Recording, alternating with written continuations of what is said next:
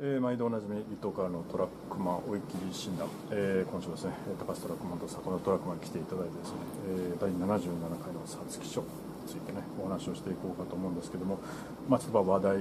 といえばね、えー、牝馬が参戦してきましたよねハンディこの辺りかなと思うんですけど、まあ、結構ね、あのー、水分含んだタフなハンドで追い切られましたが、どう見ました？動きは？まあ、今週は本当にあのチップの入れ替えの影響っていうのがすごくあの、販路もコースもあった感じで、あ確かにね。それもありましたね。いつもよりね。ちょっと時計一つ二つかかってる感じなんですけども、うん、まあファンディーナに関してはまあそうですね。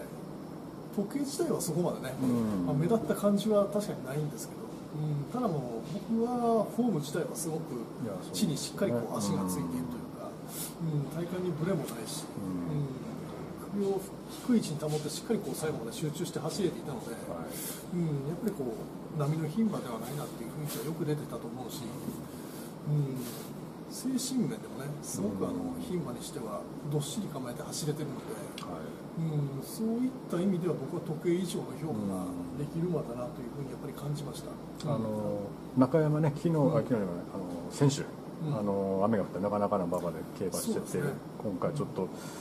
えー力のいる馬場になってる可能性もあるかなとは思うんですけども、割とそういうのにもね対応できそうなそうですね。決してあの、まあ、牝馬にしてはね体もやっぱり恵まれてるっていうのもありますけども、うん。まあ、どうしてもねやっぱスピードの方に目がいってしまうんですけども、うん。うん。そういったちょっとこうタフな馬場でもね。しっかりとこの馬の走りはできるような下地は十分にあるんかなという感じはしましたけどね、うん。うん。あの中間の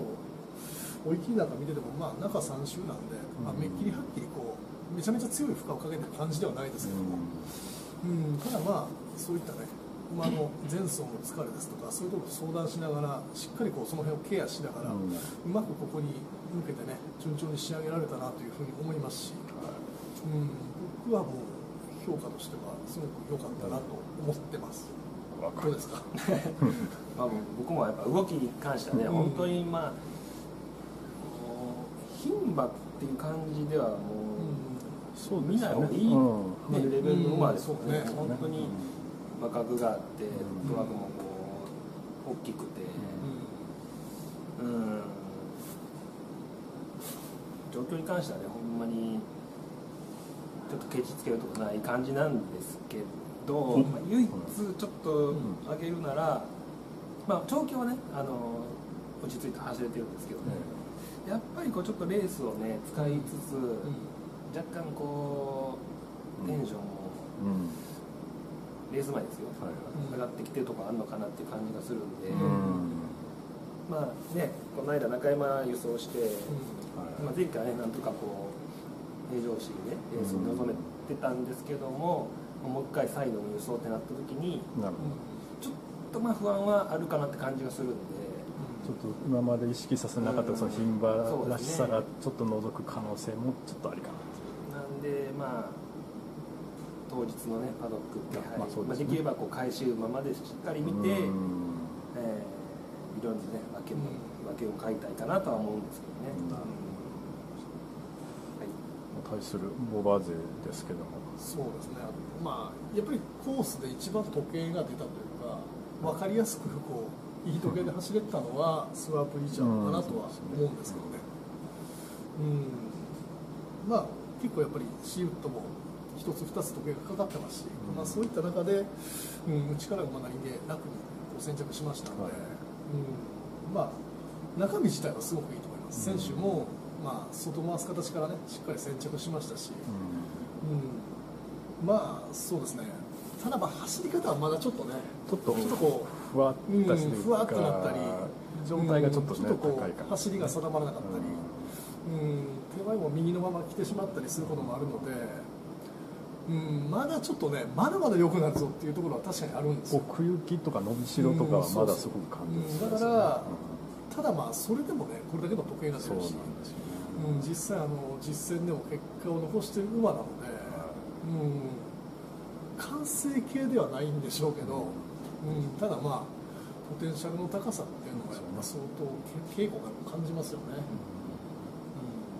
すごいね。今までのレースのパフォーマンスよりまだ上が望めるっていう、ん。そうですね。そういうところありますよね、まあ、ある意味ちょっとそういうところは残してる馬なんですけど、う。ん、ただまあ現段階でもね十分勝ち負けになるだけのものは持ってる馬だとは思いますけどね、うん、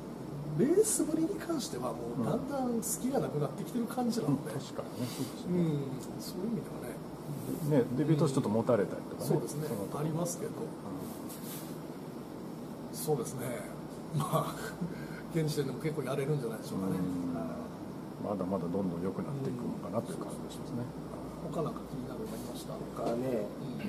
まあ、反論組なんですけど、やっぱりカデナの動きが、なるほど、あのまあ、ずっと中間、ね、ほとんどこう馬なり中心で乗られてるんですけども、まあこうディープインパクトさんらしいこうすっごい柔らかい、ね、動きする馬ですし、うん。もう今週なんかもねその重たい力のいる馬場でしたけどもすごいこう、まあ、バネの効いた、えー軽いフットワークでね、えー走れてたんで。まあ、それがね実践ね実践に行ってもね、いい瞬発力使える、まあ、原動力になってるのかなって感じがするんで、まあ、この馬もね間違いなくこう素材というか、まあ、ポテンシャルがねね。はい。高いなっていうのが、まあ、ちょうど今日ね伝わってきましたね。選手結構早い時計でもやってますしね、それとやっぱり結構この厩舎は荒れた時間帯に追い切りすることが多くて。結構ありますよね確かに割とね他の厩舎より時計がかかったりすることが多いんですけど、うん、この馬は結構そういうところもなくてしっかりこう時計も出せてます。し、うん。そういう意味ではまあある程度の完成度って見ていいのかなとは思いますよね、うん。あとはどの辺かな。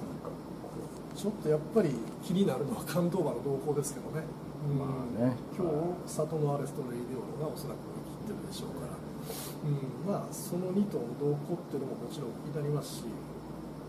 あとはまあそうですね。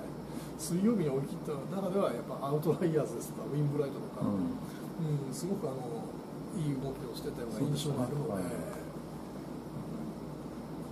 意外に僕がいいなと思ったのはアダムバローズなんですけど、あうん、終い重点なんですけども、まあ、全体時計はそんなに目立たないんですけども、うん、やっぱりこう、なんていうんですかね、走りに力強さがあるというか、うん、伊達にあの4勝を挙げてないなというような、うん、そういった、うん、パワフルな走りというような感じはしましたけど。数結構使ってる馬なんですけどむしろちょっと充実感がちょっと最近出てきてるかな割とそういう疲れとか全く感じないですよね、うんそういう意味ではやっぱりこう丈夫な馬なのかなっていうのがすごくよく出てるし、うん、まあ馬体もやっぱりある程度結構いい上位のスケールを持ってる馬だと思うので、うん、そういった意味でもちょっとだけ不気味なんですよね、うん、そのあたりかなと思いますけど僕は穴は、うん、他なんか あのやっぱりね、うん難しいんですね、去年に比べるとちょっとこうね層がみたいなこと言われ方されてますけど、でもなんかあのキャラクターとしてはねいいキャラクターがね。の馬が何頭もいて、うんそうなんですよね決してその低レベルっていうような印象ではないかなと個人的に割は思うんで。と粒ぞろいというか、うん。うんそれぞれにしっかり個性を持って。そうなんですよね。うんなんかそのどの馬からでもそうですね、うん。狙える、確かに。まあ、馬券的にはちょっと面白い、うん。ちょっとこそううね。戦国ムード的なね。まあ3歳シーズンが始まる前にはもうレイデオロがね、うん。圧倒的なこう評価を得てた馬だと思うんですけどもこの馬がやっぱりちょっとぶっつけでほんまに望むっていうはい。時点でちょっとこう混戦なのかなっていうようなところが出てきたので今年の皐月賞は、うん、そそういった中をなんかうまくこうねはい。の動きとか加味して判断してまあ予想につなげたいなとは思ってますけどね。まあ、ファンディーナをねそう。しましょうか。そう。なんですよ。ファンディーナもね、入ってきたからややこしい。そうです。ただでさえそういうところ うなのまあ面白いのは面白いですね。いや面白いですね。我々ちょっと予想するが大変ですけどね。そうですね。これからずもうずっと頭の中皐月賞で日曜日まで行きそうですね。ね。楽しく迷えればいいかなと、まあ、そんな感じがするのでお時間も結構いい感じになってきました、じゃあ締めさせていただきます。ありがとうございました。